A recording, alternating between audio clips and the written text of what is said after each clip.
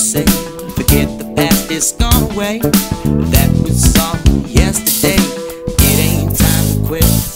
Sometimes life is real tough, and we're all dealt with trigger stuff. Always know that you're done.